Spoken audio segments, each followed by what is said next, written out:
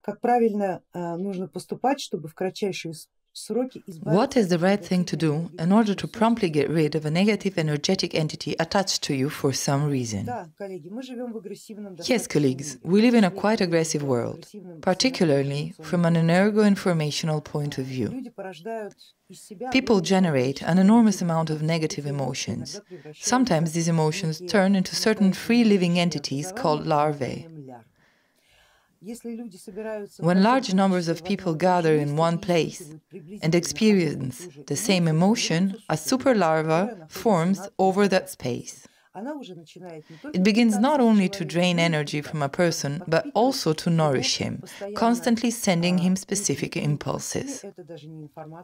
It's not even information, but just impulses of a specific frequency that make a person resonate with this exact frequency.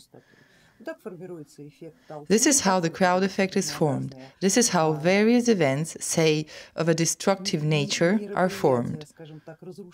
When people start smashing everything around, not understanding why they are doing it. The crowd effect is a terrible thing. A revolt, senseless and ruthless, as it was called by the Russian classics. But nowadays, people are in such a state that this sort of things is just spilling out of them. You don't know what to do about your negative emotions. Physical activity has decreased, and social opportunities to express emotions have also decreased. This is, of course, why people's space is saturated with these sorts of things.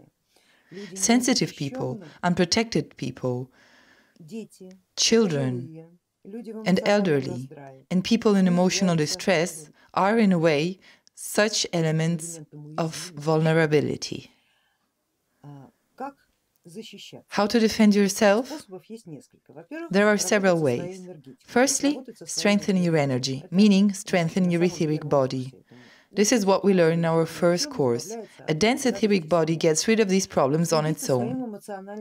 Watch your emotional state, meaning don't give in to total state of despair or emotional distress, and cleanse your astral body regularly.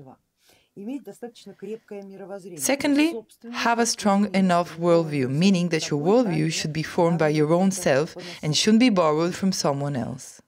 3. Defend yourself magically. Have a protective amulet. A protective amulet works according to a principle. It does all of this for you, not you. It defends your etheric and astral bodies from negative emotions and perhaps even preserving or forming your specific worldview. Wholesome, versatile, strong amulets work just like that, usually defending their owner from this sort of interference. Although ideally, you need to know how to defend yourself and be able to do so yourself. The basal state I am as I am, which we're constantly working with, and many of the present here are very familiar with, generally performs the same function. Another thing is that in contrast to a protective amulet, the basal state forces consciousness to work. After all, the basal state is an energetic, informational, and spiritual work. Hence, it is more effective because each deflected attack gives you a certain additional power level, if speaking in terms of computer games. You, Marina, need to learn to defend yourself. For one, take a look at the aggressive environment you're in.